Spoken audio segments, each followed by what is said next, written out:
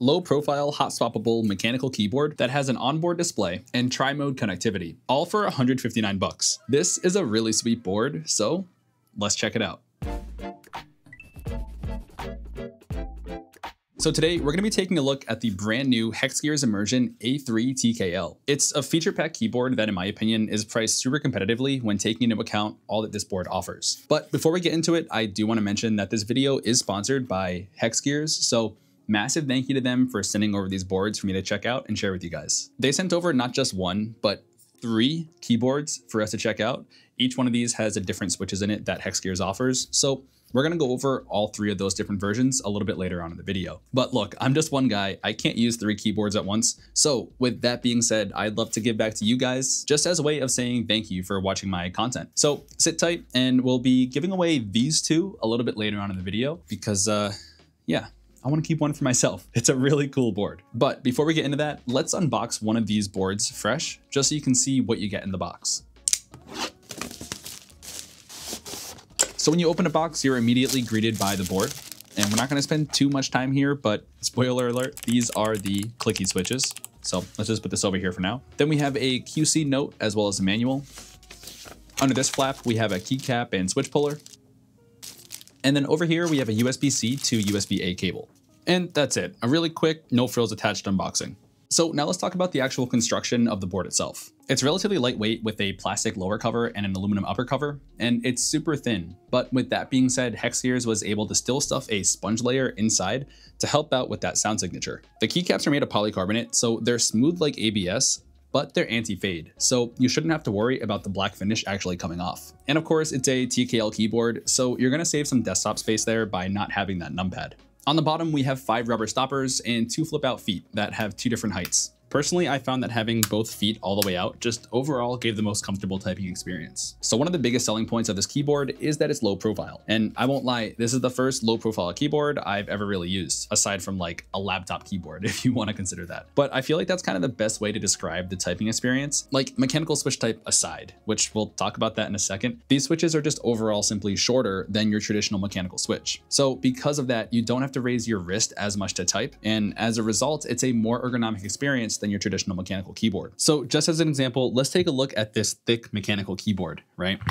I need a wrist rest in order for this to be comfortable to type on. Otherwise, it's a no-go. So that's one of the beauties about the Immersion A3 and the fact that it's low profile is that you can just have the keyboard right on your desk. You don't need a wrist rest and it's gonna be ergonomic. Wrist right on my desk, I know. Crazy. Another benefit of this form factor is that the board is just overall super thin. That makes it really easy to take with you on the go. And if you do choose to bring it with you, you can either choose to bring the 2.4 gigahertz wireless dongle, it just kind of stashes right up here in this little hole, or you can connect it to your laptop via USB-C or even Bluetooth. So the A3 allows you to connect up to three Bluetooth devices at once, and it's really simple to switch between the three thanks to these dedicated Bluetooth buttons up here, which I find super convenient. You don't have to worry about like memorizing FN key combinations or anything like that. Connecting to a Bluetooth device is as straightforward as you can get. You just hold the Bluetooth button down for five seconds for it to enter pairing mode, and then you can add it to whatever device you want.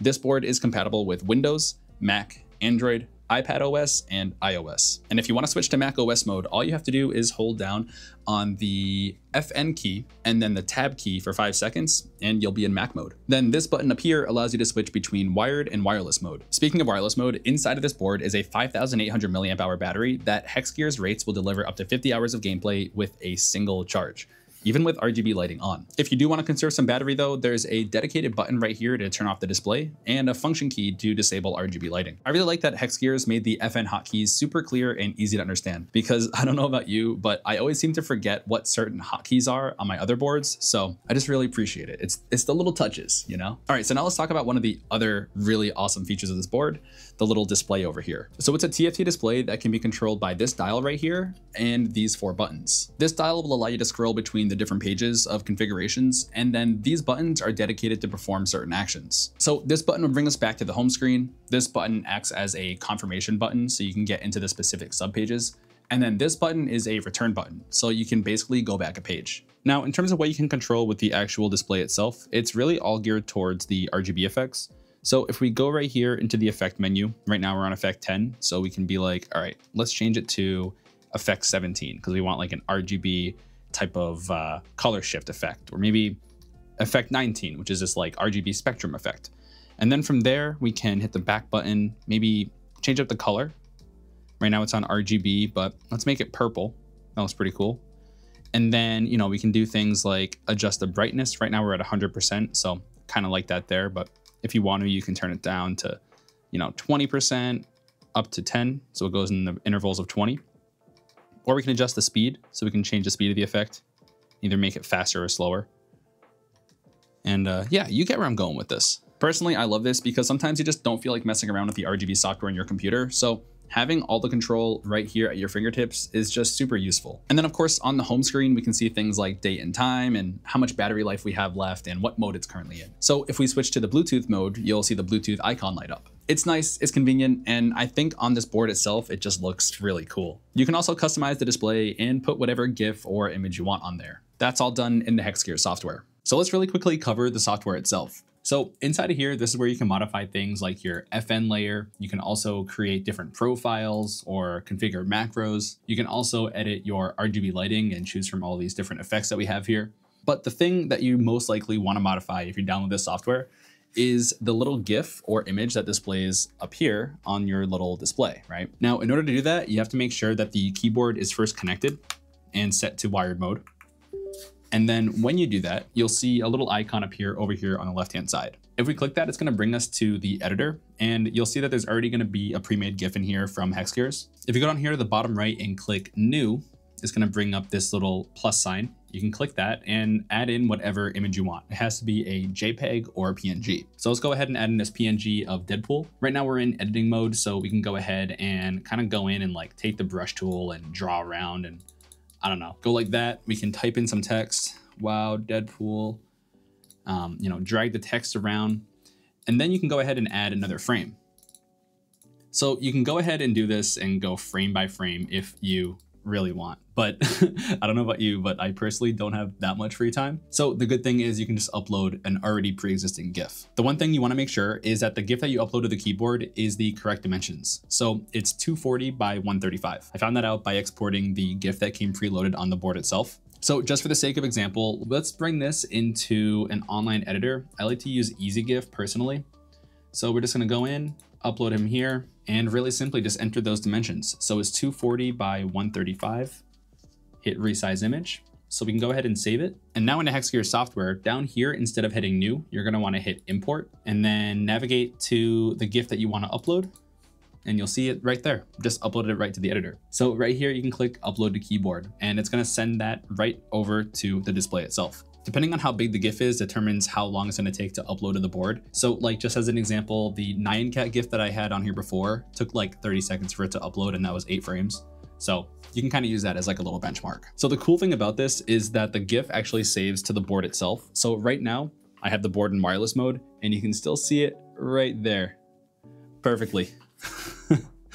That's awesome. So we've talked about the cool features that this board offers, but let's dive a little bit into the switches here. Each board comes with Kailh low profile switches. They've all been engineered to have a low reset point, which is gonna come in handy when it comes to rapid presses, which is important for gaming. Now you get a choice between silence, which are linears, hide mountains, which are clickies, and black clouds, which are considered tactile. The board I've been using for the past week or so are the silent linears.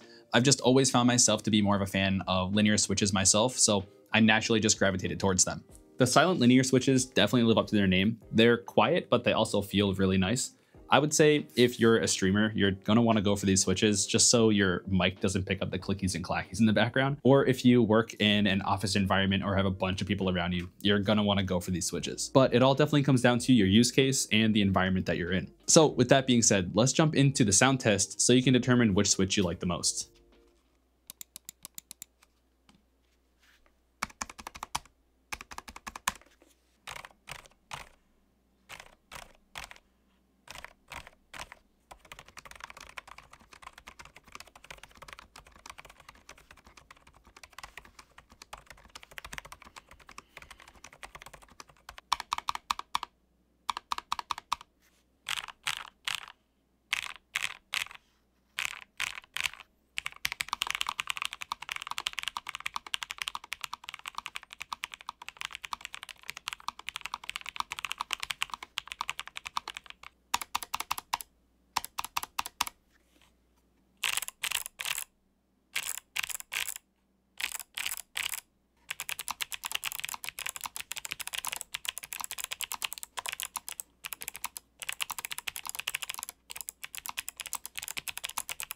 So based off of those sounds, hopefully you're able to figure out which switch appeals to you the most. But let's say you decide a few months down the road that you just don't like the switch you initially went with, or you just want to try something new. It's really not the end of the world because this board is hot swappable, so you can easily swap them out for a different low profile switch. If you made it this far into the video, I just want to say thank you. I'll be giving away the Black Cloud and Hide Mountain boards to two random people, along with some Driggsy stickers and a magnet. So just drop a comment down below about what feature you like the most about the Hexgears Immersion A3 hit the like button, and make sure you're subscribed. I'll be pulling the names in like 30 days from when this video goes live, and I'll announce that winner in my community tab. I'll be making sure whoever wins is actually subscribed. Also, this giveaway is limited to US residents only. Anyways, good luck. Now, this is a gaming focused keyboard, so the big question is how does it actually perform in game? Well, I'm not gonna lie, I really do enjoy using these switches. They're super light and they are really responsive. And I wasn't sure if I was gonna like using these switches because I've been using Hall effect switches for the past like six or so months, but I gotta say I can definitely feel the shorter keystroke of the low profile switches. Wired mode works great as you'd expect, but let's switch over to wireless mode right now, just so you can see that. And when using the 2.4 gigahertz wireless dongle, I don't notice any lag whatsoever. So now I can have a nice clean desktop while gaming. Overall, I'm genuinely impressed by the Immersion A3. I think that what Hexgears did here is great, and I'm not just saying that because this is a sponsored video. It officially goes on sale on August 26th, and if you're looking to pick one up, you can actually use my code DriggsyHex at checkout to receive 15% off for a limited time on the Hexgears website. I'm gonna have that link down below along with my Amazon affiliate link if you decide to go that route instead. Huge thank you again to Hexgears for sponsoring this video, and I'll see you guys on the next one.